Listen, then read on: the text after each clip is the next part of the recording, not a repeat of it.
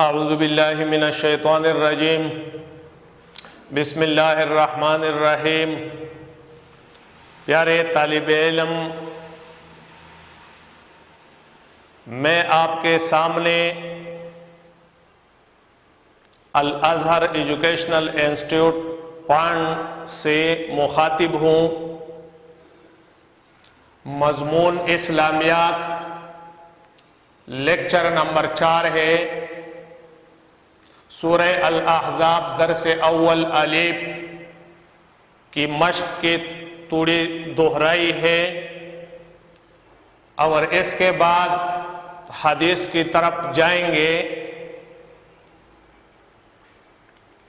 आप अपने कोर्स इस्लामियात की किताब सफ़ा अट्ठावन की तरफ़ देखा करें। मुलाहिजा कीजिए। चूँकि पहली दर्स में थोड़ी वजाहत बाकी रह चुकी थी, इसीलिए पहले इसकी तरफ़ जाते हैं। एक तो हुजूर सल्लल्लाहु अलैहि वसल्लम की हैसियत बयान की गई इन आयातों में जिस तरह के अल्लाह ताला फरमाता है, अन्नबियो अवला बिल मुमिनीना मिन अनफुसिहिम। पैगंबर, चूँकि अलिप्लाम है, आहदी खारिजी है, और खास की तरफ़ इशारा है, अरबी कायदा के मुताबिक जब किसी इसम पे अलिप्लाम आ जाए तो इसमें नकेरा से इसमें मारेपा बना देते हैं। तो अन्नबियों में मुराद मोहम्मद सल्लल्लाहु अलैहि वसल्लम ही है। अन्नबियो अवला, पैगंबर ज़्यादा हक रखता है बिल मुमिनीना मोमिनों पे, मिन अनपू से अनपुसिहिम उनकी जानों से। यानी चूँकि पैगंबर सल्लल्लाहु अलैहि वसल्लम रहमतुल्लिल आलमीन है मुहसिन इंसानियत है तो इसीलिए मुसलमानों के लिए बड़े एहतराम के काबिल हैं और एहतराम की आखिरी हद उनकी अपनी जान से भी ज़्यादा अज़ीज़। क्योंकि अगर हम हुजूर सल्लल्लाहु अलैहि वसल्लम की सीरत पर नज़र डाले तो मालूम होगा आपको कि हुजूर सल्लल्लाहु अलैहि वसल्लम भी अपनी जान से ज़्यादा मुसलमानों को अज़ीज़ रखते थे। उनसे ज़्यादा प्यार मोहब्बत रखते थे। अल्लाह तबारक ताला खुद ही इसकी तरफ़ निशानदही करते हैं कि हुजूर सल्लल्लाहु अलैहि वसल्लम के लिए आपकी तकलीफ़ बहुत गरा और मुश्किल गुजरती थी उन पे। जब भी मुसलमानों को कोई तकलीफ़ पहुँच जाती, कोई मुसीबत आ जाती उन पे तो बहुत मुश्किलात में हुजूर सल्लल्लाहु अलैहि वसल्लम होते थे कि उनसे ये कम हो जाए। इसीलिए अल्लाह ताला ने भी यही फरमाया कि ये पैगंबर सल्लल्लाहु अलैहि वसल्लम मोमिनों के लिए उनके अपनी जानों से भी ज़्यादा अज़ीज़ है। वह अजवाज उम्मात और उनकी बीविया उनकी माए है। यानी माओं की हैसियत रखती है, इसलिए उनके साथ निकाह हराम ठहराया गया इस्लाम में। अब दूसरी बात, वह उलुल अरहाम बाजुहम अवला बेबाज इन पे किताब और खून के रिश्तेदार बाज बाज पर फौकियत रखते हैं पी किताब है, अल्लाह के कानून के रूह से, मिनल मुमिनीन वल मुहाजिरीन। आम मोमिन और मुहाजिरीन के मुकाबले में। इसका मतलब ये है, आपको मालूम है कि मदीना रियासत बनने के बाद, वहाँ पे हिजरत करने के बाद, हुजूर सल्लल्लाहु अलैहि वसल्लम ने मुसलमानों के दरमियान एक मुआहिदा तय किया था, जिसे आहद मुआखात के नाम से याद किया जाता है कि एक मुहाजिर और एक अंसारी सहाबी को आपस में बाई बाई करार दिया कि ये दोनों आपस में बाई होंगे। बाई की हैसियत से ज़िंदगी गुजार देंगे। और इसलिए मुसलमानों ने इसका मुजाहिरा किया और कभी इस्लाम के अलावा किसी दिन में इसकी नजीर नहीं मिलती। तो इतने हद तक वो जा चुके थे साहब कराम कि वो ये जहन में रखते थे कि अगर एक मर जाए तो दूसरा इसकी विरासत में भी शरीक होगा। इसीलिए अल्लाह ताला ने इस आयती करीमा में ये बताया कि विरासत का कानून अलग है, वो खून के रिश्तेदार, जिसे जविल फुरूज, जविल अकरबा कहते हैं, इनके दरमियान ये तकसीम होगा। लेकिन ये भाईचारा का जो निज़ाम है, वो दुनिया की आम मामलात ही में है। तो अल्लाह ताला ने इस खलबशार को दूर कर दिया कि वह उलुल अरहाम बाजुम अवला बेबाज खसूस मेरास के सिलसिले में खून के रिश्तेदार एक दूसरे पर फौकियत रखते हैं, न कि मुहाजिर और अंसवारी एक दूसरे के। पी किताब अल्लाह के कानून के रू से। फिर फरमाया कि मारूफा। हाँ जायज़ है तुम्हारे लिए, जो तुम क्या करते हो एक दूसरे के साथ काम मारूफ में। जायज़ काम है, हलाल काम है, हलाल मामलात है, जायज़ मामलात है एक दूसरे के साथ हुस्न सलूक का लेन देन का, भाईचारे का तो एक दूसरे के साथ क्या करते हैं? और चूँकि पिसप फुजूर, बुराई, बदी के कामों में एक दूसरे के साथ तो इस्लाम में हराम है। इसीलिए मारूफ का खेद लगाया कि नाजायज कामों में एक दूसरे के साथ मदद न किया करना है। काम मारूफ में एक दूसरे को आप देते हैं, किसी को कोई ज़रूरत पड़ती है पैसों के, आप देते हैं। किसी के साथ तो इंसानी खिदमत की ज़रूरत पड़े तो एक दूसरे के साथ हुस्न सलूक किया करते हैं, शिरकत किया करते हैं तो अल्लाह ताला ने फरमाया कि जो तुम एक दूसरे के साथ काम मारूफ में क्या करते हैं तो ये तुम्हारे लिए जायज़ है। चाहे अंसारी साहबी मुहाजर के साथ क्या करते हैं, या मुहाजर अंसारी के साथ मुआविनत किया करते हैं तो जायज़ है।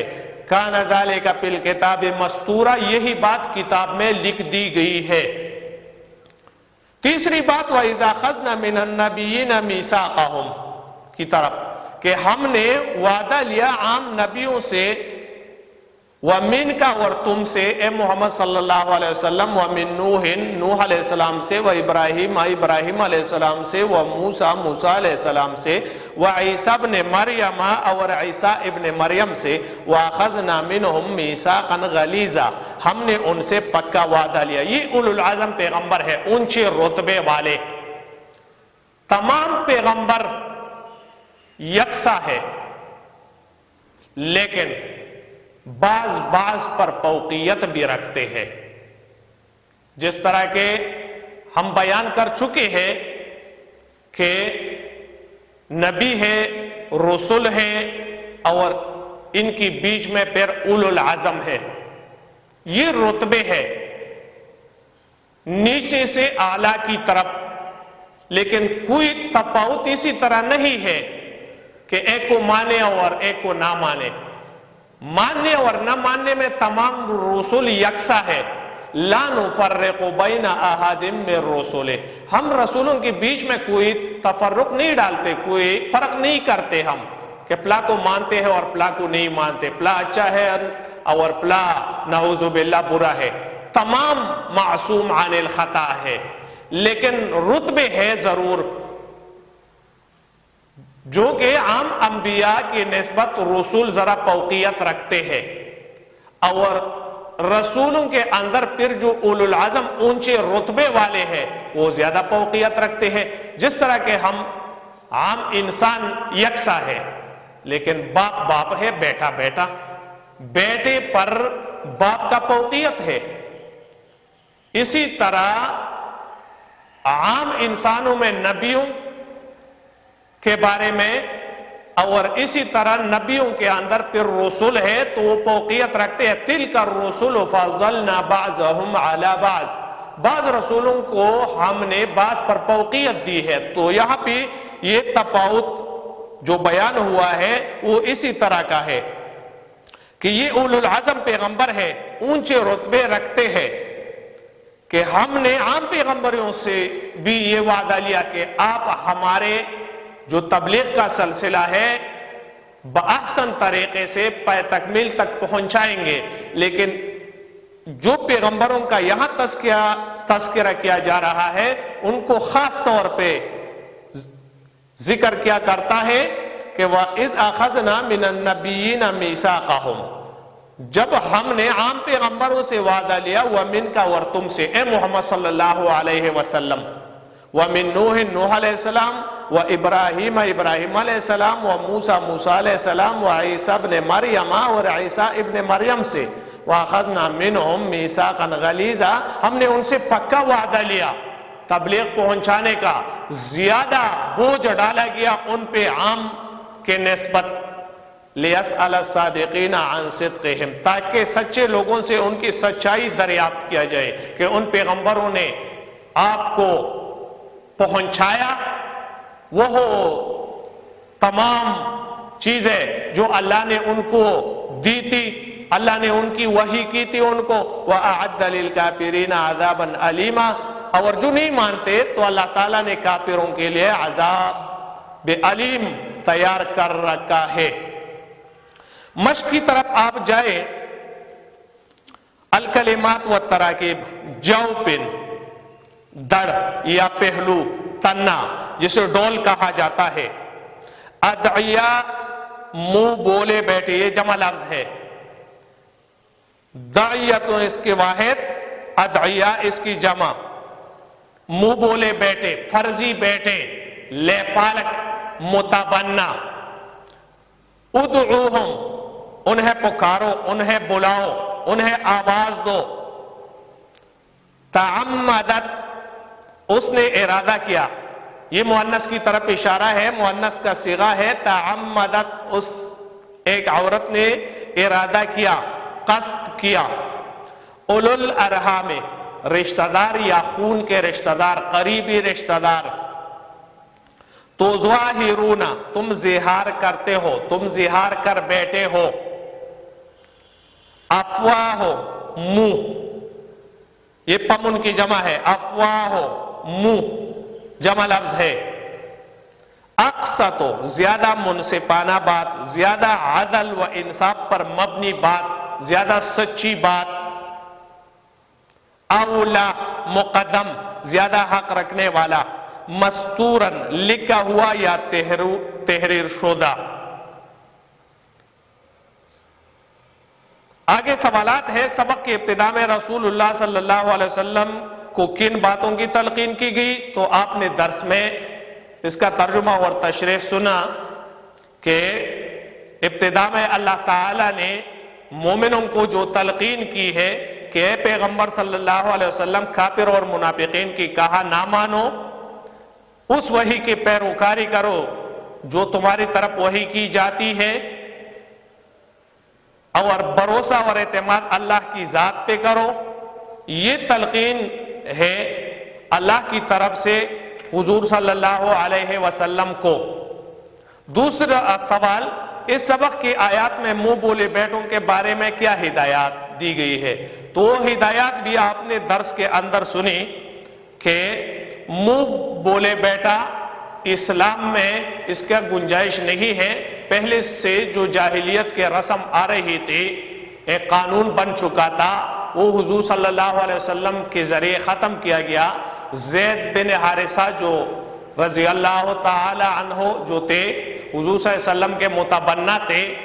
फिर जब ये कानून आया तो लोग दोबारा उसे जैद बिन हारिसा कहने लगे। जैद बिन मोहम्मद के मुकाबले में और वो इसकी जो बीवी है, वो पर्जी बेटे का तो वह बहु नहीं है हकीकत में। ये कानून मुकम्मल तौर पे यहाँ पे बयान की गई कि आप किसी को पाल सकते हैं, तरबियत दे सकते हैं, तालीम दिलवा सकते हैं, लेकिन अपने नाम से मंसूब नहीं कर सकते और जाहिलियत का जो रस्म है वो खत्म हो गया। अब हम आते हैं इस दर्स में नए तरफ़ जो कि हदीस का सिलसिला शुरू किया करते हैं। साहिबान मोहतरम हदीस नंबर एक का तर्जमा और तशरे हम पढ़ेंगे, लेकिन इससे पहले हदीस की तरफ़ हम जाते हैं। हदीस लफ्ज वाहिद है, अरबी ज़ुबान का लफ्ज है। जमा है अहादीस। लफ्जी और लुगी माना है हदीस का वाक़ खबर, कलाम, बात वगैरह के है वाक़ इस्तेलाही शरीयत में हदीस से मुराद नंबर एक हुजूर सल्लल्लाहु अलैहि वसल्लम का कौल पहल और अमल है। यानी तारीफ़ है हदीस का कि हदीस किसे कहते हैं? हदीस से क्या मुराद है? इब्तदाई नौीयत के अतबार से जमहूर उलमा की नज़दीक महक्कीन के नज़दीक तारीफ़ हदीस है कि हदीस से मुराद हुजूर सल्लल्लाहु अलैहि वसल्लम के जुमला अकवाल, अफआल और तकारीर को हदीस कहते हैं। और मुतरद के तौर पे सुन्नत का लफज, जिसका जमा सुनन है, वो भी आता है। सुन्नत या जमा सुनन। लफ्ज वाहिद सुन्नत मुतरद पे, हदीस के तौर पे। और अहादीस सुनन। ये जमा लफ्ज है। इसका तो लफ्जी माना तरीका के है लेकिन इस्तेलाही शरीयत में ये लफ्जो हदीस के माने और जुमरे में भी आ, आता है।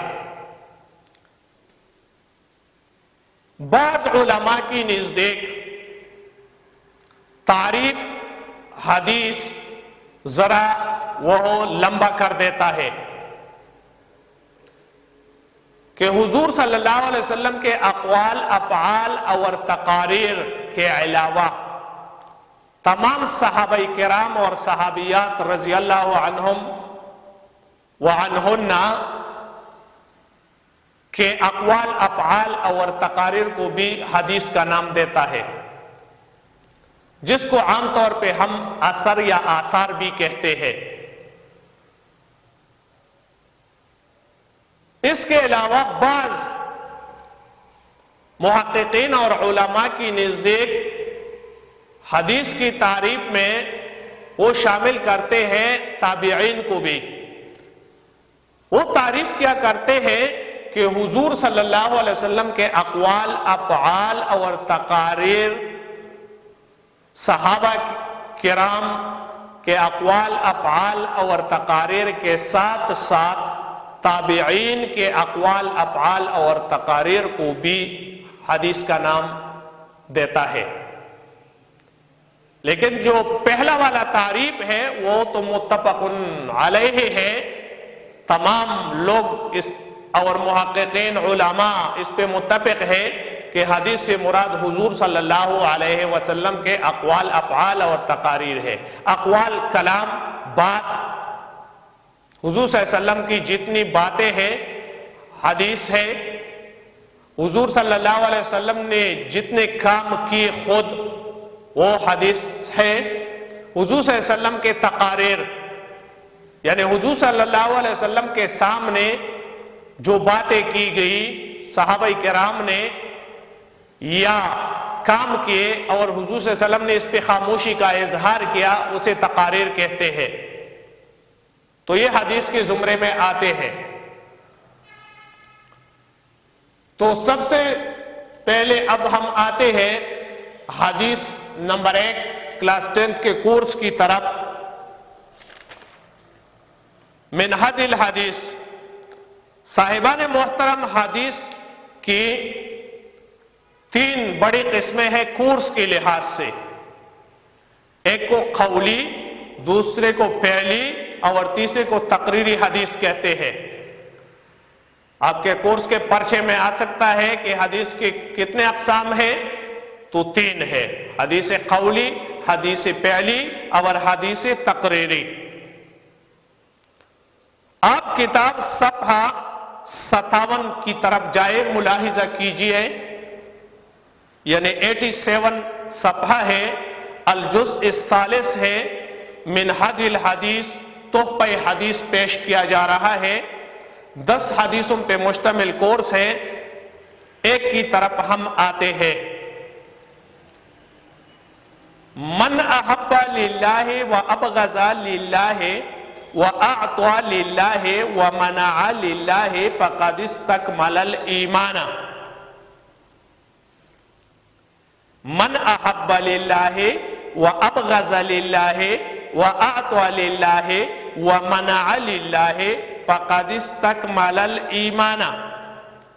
ये हदीस सुनन अबू दाऊद ने नकल किया है। हदीस की किताब सुनन अबू दाऊद है।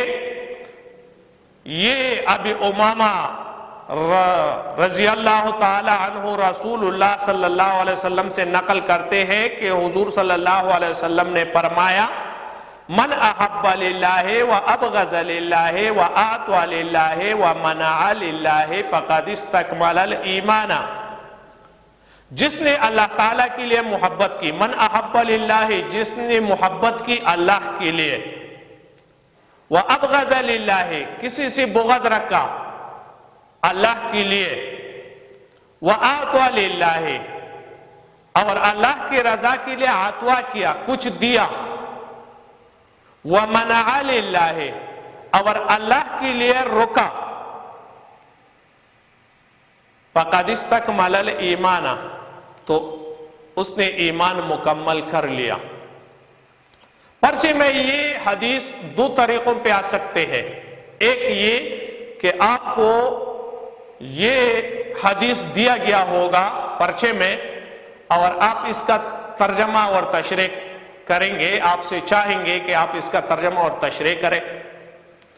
दूसरा ये कि ये हदीस जो कि मजकूर है, ये सवाल की शक्ल में भी आ सकता है कि हदीस के अल्फाज ना हो, मतन हदीस ना हो। आप से ये सवाल किया जा रहा होगा कि तकमील ईमान की चार बुनियादी उसूल हदीस के हवाले से बताए। या तकमील ईमान के चार उसूल बताए। तो फिर आप ऐसा करेंगे कि तशरे नहीं करेंगे, आप जवाब की शक्ल में इसका जवाब देंगे। और हदीस मस्कूर का हवाला आप देंगे और इसका तर्जमा नकल करेंगे। मैं पहले भी आपको बता चुका हूँ कि जब भी आपके साथ वक्त कम हो, आप पूरा के पूरा हदीस नहीं लिख सकते अरबी मतन। तो इसका कुछ हिस्सा लिखिए, जिस तरह के मैंने बोर्ड पे लिखा है, मन अहब लीला है और इसके बाद ब्रैकेट में मैंने लिखा है इलख। अलिप लाम और खा है इलख। एला आखिर ही ये एक मारूफ तरीका है लिखने का। कि एला आखिर ही हदीस के आखिर तक। और फिर इसका तर्जमा और तशरे पूरी के पूरा आप नकल करेंगे। मन अहब्बा है इलख तो पहले तर्जुमा सुने, जिसने अल्लाह के लिए मोहब्बत की और अल्लाह के लिए बुगज रखा और अल्लाह की रजा के लिए अता किया, कुछ बख्शिश किया और रोका तो उसने ईमान मुकम्मल कर लिया। इस हदीस मुबारक में तकमीली ईमान के चार बुनियादी उसूल बयान किए गए हैं। नंबर एक, इंसान किसी से मोहब्बत करे तो अल्लाह के लिए। किसी से बोगज रखे तो अल्लाह के लिए। किसी को कुछ अता करे तो महज अल्लाह के लिए। किसी को अता करने से हाथ रोके तो अल्लाह के लिए। ये चार बुनियादी उसूल है जो यहाँ पे बयान किए गए हैं। नबी करीम सल्लल्लाहु अलैहि वसल्लम ने इन चार अमाल को ईमान की तकमील फरमाया है। अल्लाह ताला चूँकि इंसान से बेहद मोहब्बत रखता है, लिहाजा इंसान को भी चाहिए कि वो अपनी मोहब्बत और उल्फत का मरकज अल्लाह ताला की जात ही को रखे। वल्लजीन आमन अशद होबल्ला मोमिनों को चाहिए कि अल्लाह के साथ ज़्यादा मोहब्बत करे, क्योंकि अल्लाह खालिक है, राजिक है, मालिक है। आदम से वजूद में लाया इंसान को। सीधी राह दिखाया पैगंबरों के ज़रिए, किताबों के ज़रिए, तालीमत के ज़रिए। तो इसीलिए एक इंसान मुसलमान के लिए ज़्यादा ज़रूरी है कि वो अपनी खालिक अपनी अल्लाह से ज़्यादा मोहब्बत रखे। तो मोहब्बत और उल्फत का महवर मुसलमानों के लिए खसूसी तौर पे अल्लाह की ज़ात होनी चाहिए।